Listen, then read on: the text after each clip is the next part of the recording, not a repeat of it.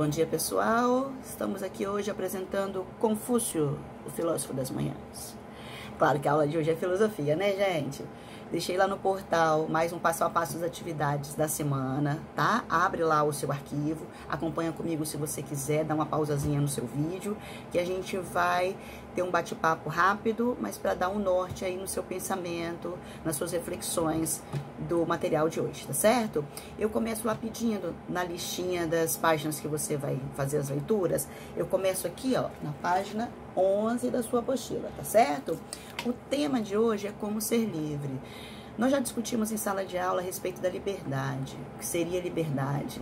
A liberdade ela pode ser exercida plenamente ou eu preciso refletir antes de usar esta liberdade que nós possuímos e nós vivemos numa sociedade em que nós temos uma liberdade bem extensa, não é? Mas eu posso usar essa liberdade a qualquer momento? Ou uma reflexão que a apostila vai trazer para vocês, ou a liberdade traz consequências. Quando eu exerço a liberdade, eu posso sofrer consequências e posso trazer consequências às outras pessoas, tá? Leiam o trechinho, os textos são bem curtinhos, mas ele traz reflexões profundas aí para vocês fazer, tá certo? Seguindo na apostila, gente, ele tem o Hora de Filosofar é um momento bacana fazendo essa atividade de você refletir a respeito justamente do tema que a apostila começa aí. Ele pede você, ó, tem um quadrinho, tá? E ele vai pedir para você ler as perguntas e marcar um X aqui no sim ou não, tá certo? Então ele tem perguntas como, por exemplo, ó, Uh, praticar seu esporte favorito lhe dá sensação de liberdade? Sim ou não? Você se sente livre ao praticar o esporte que você gosta? Sim ou não? Quem não pratica esporte nenhum, pense se você praticasse um esporte, se ele traria essa sensação para vocês, tá certo? A pergunta que segue, a segunda aí embaixo, fala assim: seus esportes favoritos têm regra? Sim ou não?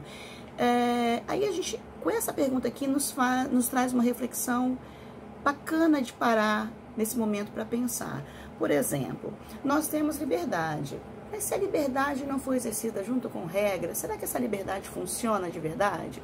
Vamos trazer o um exemplo aqui de um esporte que todos nós conhecemos, né? O futebol. O futebol tem várias regras né, a serem seguidas aí para uma partida. Se não existissem regras, essa partida de futebol aconteceria? Esse jogo aconteceria? Seria prazeroso para jogar e para assistir? Por exemplo, uma das regras do futebol é, para eu fazer ponto, eu tenho que chutar a bola para o gol do adversário. Se eu resolvo, sou parte do time, eu resolvo não cumprir aquela regra e eu acho que eu posso pegar a bola com a mão e jogar dentro do gol, funcionaria? E o outro?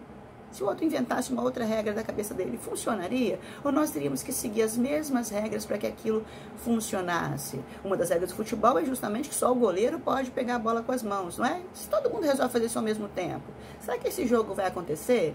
Se uma pessoa de outro time resolve que para ele fazer ponto ele tem que pegar a bola e chutar para o próprio gol, será que esse essa engrenagem iria rodar direito, né? Se a gente for seguir um outro exemplo, por exemplo, sala de aula. Se a gente não tivesse pequenas regras em sala de aula, será que funcionaria? Será que o que a gente propõe, a gente chegaria a uma finalidade? A finalidade da gente em sala de aula é aprender alguma coisa, é adquirir conhecimento. Vamos supor que nós temos uma sala de aula com 40 alunos. Se cada aluno resolve cumprir fazer as próprias regras, usar sua liberdade e fazer aquilo que bem entende. Por exemplo, um aluno pega o celular sem fone e liga uma música que ele gosta. O outro lá de trás resolve fazer também. Confúcio resolve que ele vai tirar foto. O outro aluno resolve que ele vai jogar futebol na sala, porque ele, naquele momento ele quer jogar futebol. O outro resolve que vai dormir. Será que o nosso objetivo vai ser alcançado? O ensino vai ser alcançado? Você vai escutar as orientações do professor, você vai ser orientado de uma forma adequada. Por outro lado, também, eu tenho dois professores em sala de aula. Um está ensinando matemática, o outro está ensinando português. Será que você, aluno do outro lado, vai conseguir adquirir esse conhecimento de uma forma legítima? Ou você vai ficar confuso? Não é? Então, assim, as regras elas existem para tirar a liberdade ou para organizar essa liberdade nos momentos que são necessários. Pensa nisso daí, tá certo? Quando a atividade seguir na página 11, no finalzinho, ele tem uma segunda atividade para você fazer.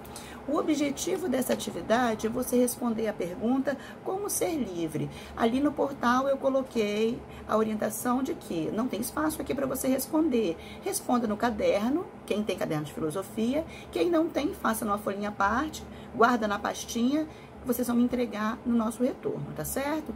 Mas é uma leitura que você vai fazer aqui que vai te gerar muito campo para reflexão, tá certo? Seguindo, eu peço você para seguir na página 12 e olhar filosófico. Aqui ele traz uma reflexão de Aristóteles. Aristóteles dizia, ele traz aqui no nosso texto a palavra temperança. Quem não conhece a palavra temperança, temperança quer dizer temperado, moderado. Quando a gente é bebezinho, a mãe vai lá pegar a aguinha do nosso banho e ela vai temperar a água. O que, que é isso? Ela vai colocar um pouquinho de água quente e um pouquinho de água fria. Por quê? Se ela não usar a temperança, se ela não temperar essa aula, se a água ficar muito quente, a gente cozinha o bebezinho. Se a água ficar muito fria, a gente congela o bebezinho. Então, a gente precisa de temperança. E aí, Aristóteles vai falar justamente isso para pra gente. Ele diz que a temperança nos leva à felicidade. É, sem temperança não há liberdade, está escrito aqui na sua apostila. Por que, que ele diz isso? Que ele fala que as paixões nos atrapalham a pensar. Vamos trazer o futebol de volta e vamos pensar no seguinte, ó, flamenguistas como eu, por exemplo.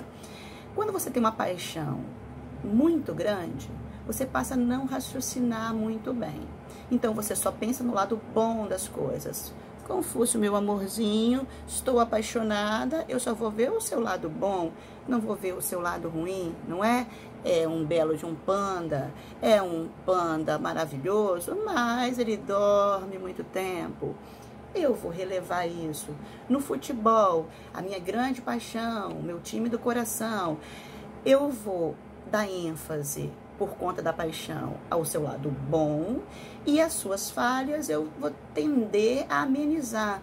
Se a gente está falando do Flamengo, por exemplo, um time com vários títulos, um time hoje muito bem organizado, com um técnico maravilhoso, mas eu vou tender a amenizar as suas falhas. Por exemplo, o acidente que aconteceu no incêndio lá no Ninho do Urubu, em que matou os atletas, né?